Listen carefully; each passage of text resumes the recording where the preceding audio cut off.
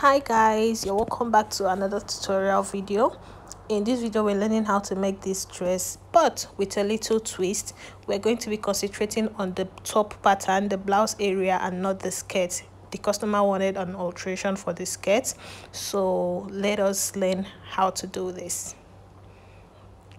Now this is my pattern paper right here and um, the measurements i'm going to be using are the my customer is a plus size so her bust is um 45 her waist is 38 and her under bust is the same 38 so now these are the measurements i'll be working with.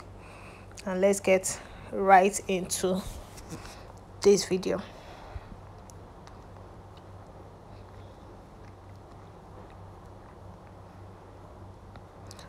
so as always i fold my pattern paper into two leaving one side for the front and the other side for the back.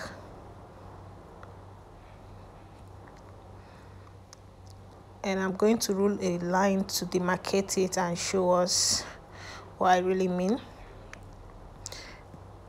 Now that blouse um, didn't stop at the half length. It has a little bit of length for that under bust corset that you see there.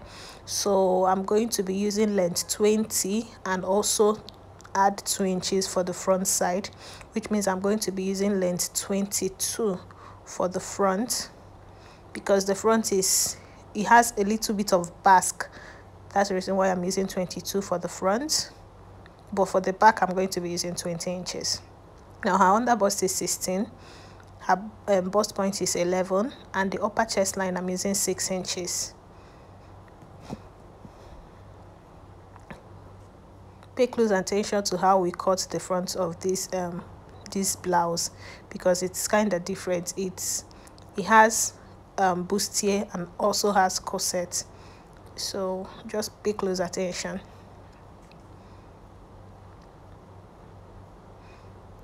Okay i'm going ahead to label my upper chest line bust point under bust and this is my blouse length or you call it the top length.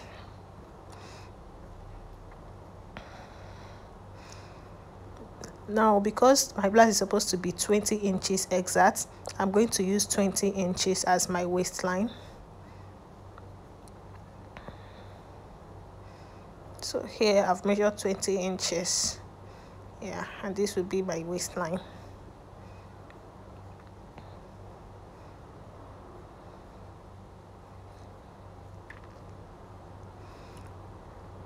guys the next thing we need to do is to mark out our nipple to nipple measurement. Hers is 8 which is 4 inches. If you have a small breast yours might be three and a half but hers is 8 so I used 4 for her. Okay now we're now we've marked out our nipple to nipple measurements let's go ahead and work on the under bust area now for the under bust area we're just going to go ahead and input all our measurements. Her waist is 38 divided by 4 which is nine and a half. The under bust is also 38 divided by 4 which is nine and a half. And i'm going to use my ruler to connect that line. And then get my french ruler and give it a curve into the top length that basque curve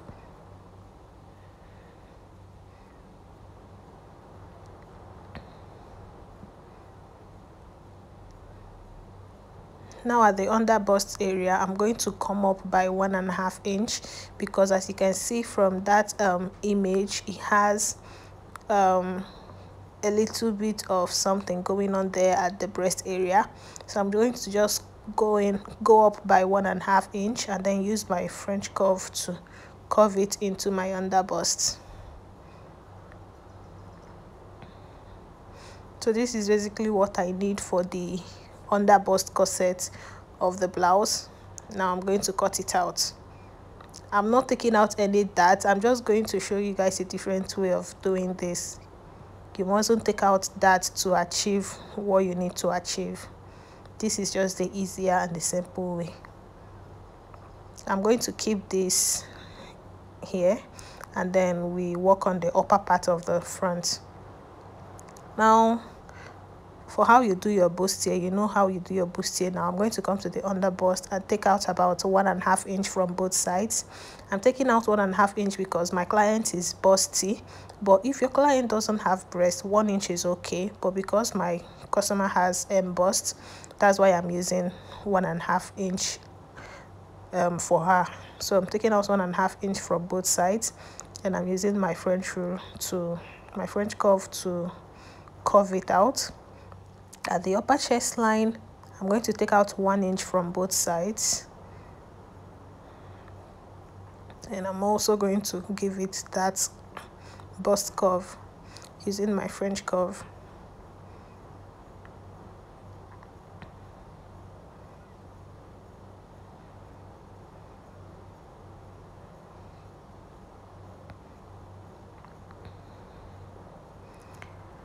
okay so to do the sweetheart neckline i'm going to come down by three inches.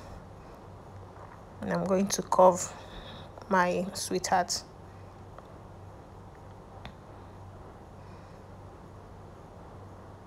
And then the next thing we want to get is our armhole. Okay. Okay before we do that i'm going to measure my bust. My bust divided by four which is 45 divided by 4 and at the under bust I'm going to measure my under bust divided by 4 plus the 3 inches we took out for that.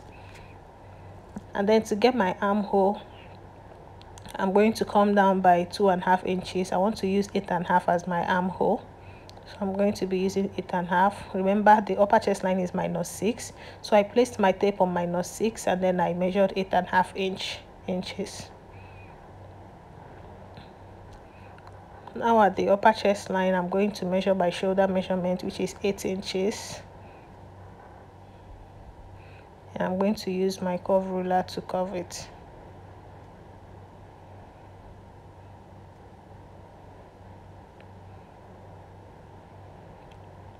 And i'm going to also use my straight ruler.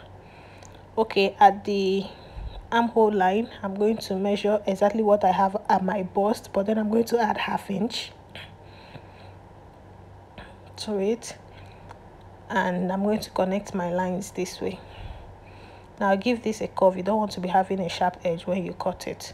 So just smoothing it out. And yeah guys this is basically it for the upper area. We're going to now go ahead and cut it. Is there any other thing? Okay yeah the next thing we need to work on is our bust dart so i'm going to at the bust point i'm going to take out half inch from both sides. And i'm going to slant it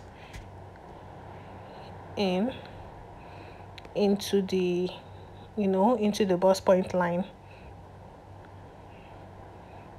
And yeah we're done. Let's cut it guys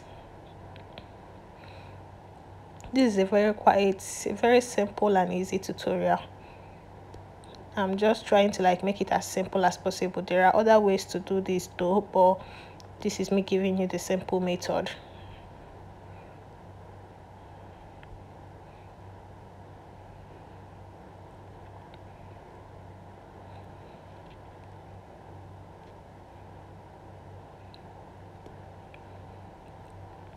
okay so here i'm trying to fold my dart. Yeah to eliminate that um the stuff that i'm supposed to cut out. So instead of just cutting it out i'm just going to fold it in.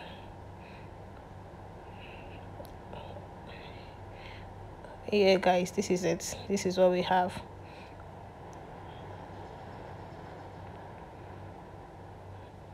so this is what we have for our front pattern. Now let's work on the back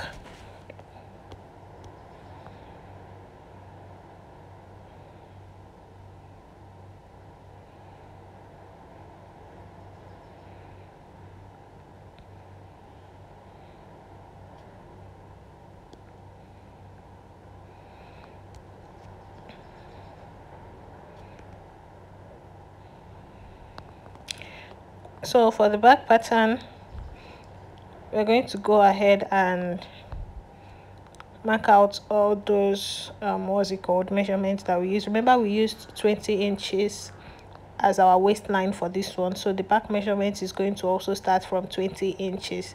Remember i told you that the reason why i made the front 22 is because of that basque that the front side has but the back doesn't have a basque so we're going to be using 20 inches for the back 11 inches for our bust point and 16 7 inches for our upper back line.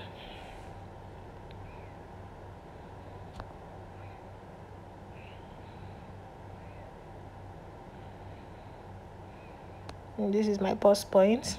This is my upper back line and this is my waist or my top length for the back.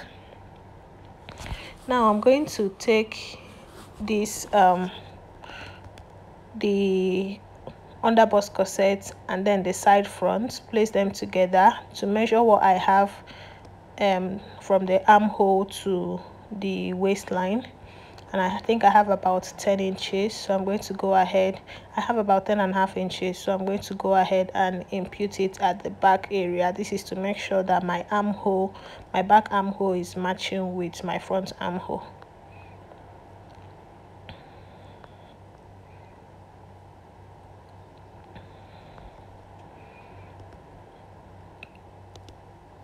So now that is my armhole line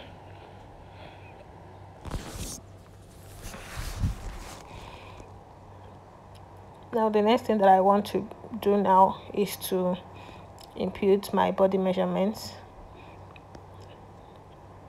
My client's bust is 45 divided by 2 by 4 which is about 11.25 and then the waist is 38 and I'm going to go ahead and use my ruler to connect my lines all the way to my armhole line. Now remember i'm not adding any dart allowance to this pattern. Now at the upper back line i'm going to impute my shoulder measurement which is 8 inches. And then i'm going to use my french curve to give my armhole a curve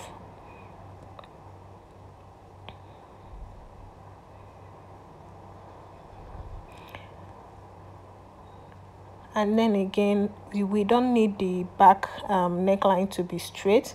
We need it to have a curve. So we're going to measure um, extend our armhole line here. As you can see this is me extending that armhole line so that my back neckline can also curve into that particular line. And here I'm getting my French curve and then I'm curving into that line okay so this is what we have. The next thing remember we're going to be using um, loops. We're not um, adding zipper or anything which is reason why we skip zipper allowance. So we're going to go ahead and minus some inches from the back pattern so that when you use your loops to tie it it can cinch your waist and you know reduce a little bit of inches. So i took two inches at the bust point and I'm going to take one and a half inch from the waistline. This is so that it can be slanted. So I'm going to slant it one and a half inch at the waistline and two inches at the bust point. I'm going to go ahead and roll it all the way to the back neckline. And this is it. Let's go ahead and cut. We're done I know you're going to be wondering, I didn't add that. Yeah, don't worry. I don't really think that I need my that for this. Um, but then when you're sewing, you're going to see how I add my boning channels to it. So this is what our patterns look like, guys. Let's go ahead and cut it on fabric. Okay so these are my patterns on fabric.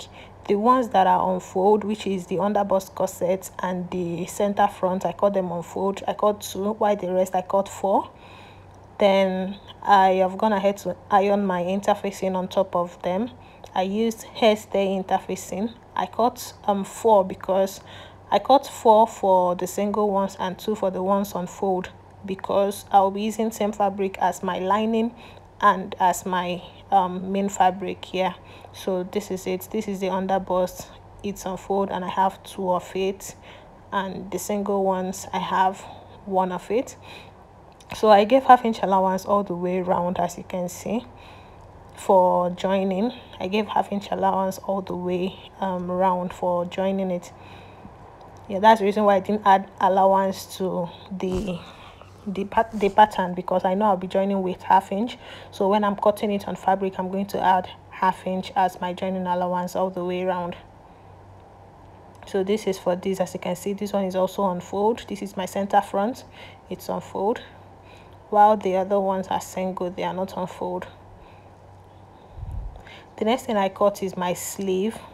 For the sleeve I'm using a rectangle of 30 inches by 12 inches yeah this is it i got two of it and i'm not going to be focusing on the sleeve now because i know that i've already shown us how to do this kind of sleeve a lot a, lot of times. So let's continue with the blouse which is the main focus.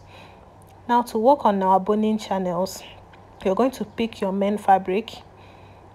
I've already done one side and I'm going to be showing us how to do the other side. So you're going to pick your main fabric and you're going to divide it into two you're going to fold it into two so that you can get the center line which is this line now that I have here. So after you've gotten the center line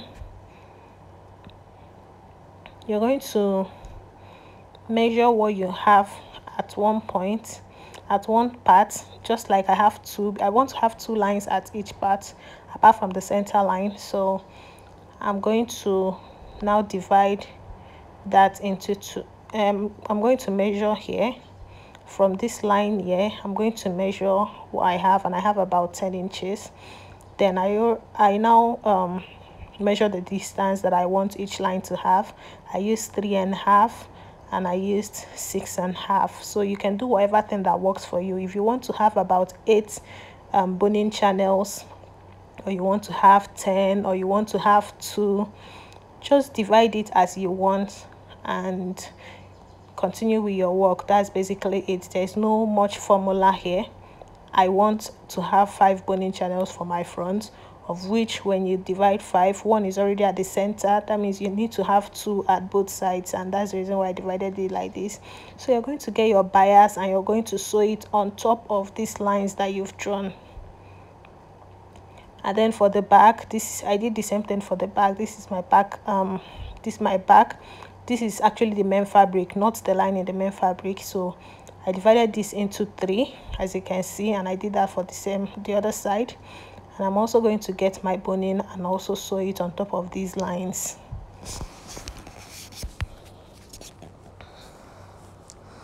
So for the upper part of the front i i am using um gum wadding for the padding yeah and this is what my padding looks like. I've gone ahead to pad and i've also gone ahead to iron it properly. So this is it. As you can see it's standing firmly and so nice. So after this i'm going to join my under underbust and the back to it. Now this is actually the complete look. I'm not taking you guys through everything. I i hope you understand what i'm explaining but this is it after you've joined the underbust and you join the this um the back to it. Now as you can see my side seams do not have boning but that is what i'll be doing next. I'll go ahead and press it open. After ironing it i'm going to get my bias tape and sew a boning channel to it because it needs to carry boning too. I truly hope you guys understand what i'm explaining because i'm not going to be showing you guys. I'm this is more like a guide. I'm not teaching you guys everything from start to finish which is why i'm not showing myself on the sewing machine. But i really hope that as advanced students you guys already understand what i'm doing. So i'm going to get my my bias tape and then i'm going to sew a boning channel on top of the side seams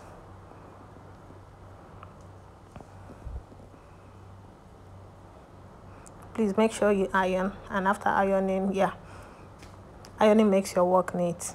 Now onto the boning part. I've already added boning for some of them and then i'm going to show you this is how you pass your bone.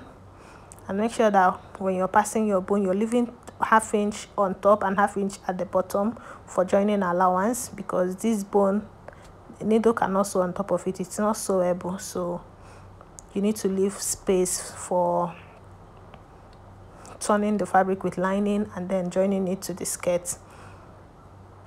Now also remember that your bone doesn't need to be sharp. You need to use your lighter or your matches to burn to melt the edges of your bone so that it won't be very sharp.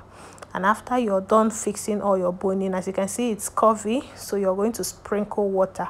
Please sprinkle water. It helps it. If your iron is is steam iron and the iron is still good then fine for you but sprinkle water and then iron it flat.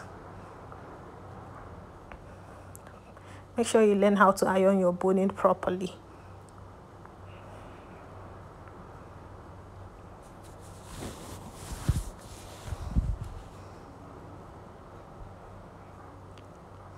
So you're going to sprinkle enough water to it and then you're going to iron it that's why i don't really understand how people can sew without light because it's kind of difficult. Like you need to iron all the way. Every step needs ironing. So why will you sew a cloth without light? It's kind of difficult. My kind of tailor doesn't know how to sew without light. Okay so this is what i have here and as you can see i've already added my sleeve to the front part and whatever thing I made for the front part I also made for the back except the boning. I didn't add boning to the lining.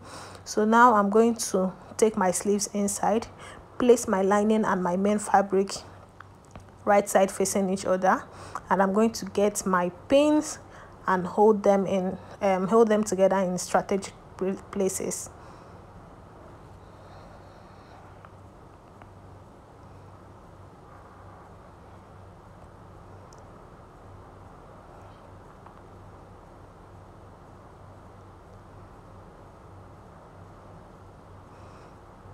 okay yeah. So you're going to hold them together in strategic places. Put your sleeve inside. The reason why you're holding them with pins is just to serve as a guide when you're sewing it. Yeah it helps you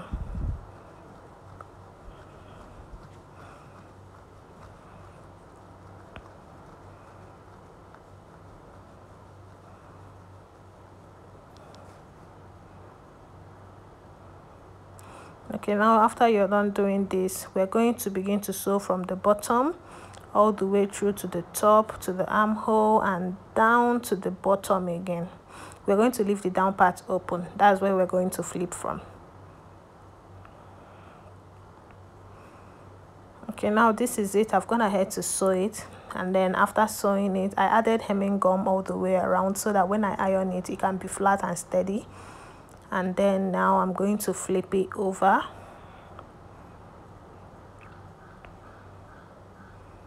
Okay yeah so i flipped it over and as you can see my work is very neat.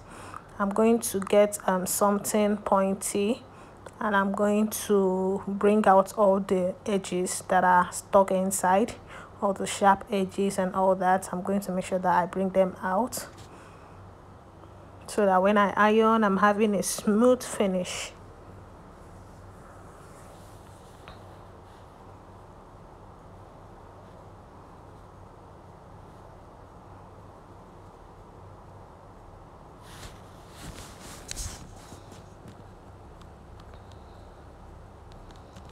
Okay so now that we are done we're going to go ahead and sprinkle water and iron. Please sprinkle water if your steam iron is still working make sure that you're using it. But my steam iron is spoiled that's the reason why i just get me a bottle and then i use it to sprinkle water. So make sure that your ironing is okay. You iron all of them. You iron the the back the neckline the armhole the sweetheart you iron all of them and make sure that everything is flat and steady and yeah this is it. Our blouse is okay looking all dapper and fine. Um yeah this is it. We're going to go ahead and attach the skirt to it. Uh, i think we're basically done with this tutorial sha but it's remaining one more thing to do. This is my skirt. I made a 360 degree flare and then i just added a slit to the front and then at the sides i've put notch at the sides at the skirt sides. Yeah the notch that i put are to indicate that the part that is carrying notch is the sides. Yeah because I haven't split it yet. So I'm going to fold it into two. This is so that we can work on that basque shape that we have. We need to cut out some stuff from the front area now we're going to work on it. So you're going to fold your your front your blouse into two as well. You place your the side of your blouse at the sides of the skirts together and then basically arrange it the way it's supposed to be and you get your chalk and you mark it out. Now after marking it out you know that this is what you have but you're not cutting exactly from this line. You're going to be cutting half inch away for joining allowance. Yeah i know i should have gone ahead to mark the half inch for you guys but i'm not a new tailor so i already know my half inch so i'm just going to go ahead and cut it anyway. And that is basically it.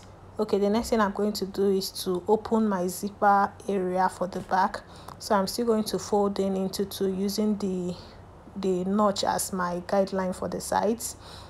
And then the side that has the slit is the front which is where we cut out as the back basque where we where why the other side is the back which is where i'm splitting right now for my zipper allowance. And then the next thing i'll do is to add my zipper to it and then join my skirt and my blouse together so i believe you guys can do that one. And this is what the complete looks look um is. This is how the dress looks like. This is it. My dress is already um it's so fine. Um okay we're basically done with this tutorial. Please like my video and subscribe to my channel if this is the first time you're watching. Turn on your post notification bell so that youtube will notify you whenever i post